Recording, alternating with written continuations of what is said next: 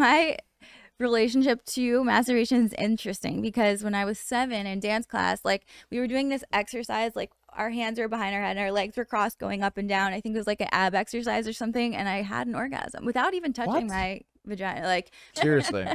no, but so mm-hmm. anyway, I would have these like growing up to me, orgasms weren't about um sexual like anything sexual. Actually when i had that i was like ooh that's interesting. That feels good. What is that? I went home. I tried to recreate it like grabbing my bedpost with my legs up and down. And whenever my parents would piss me off i would go have a re- release. Nothing What? sexual That is so just funny. literally like aggression release getting it out. No, I understand that.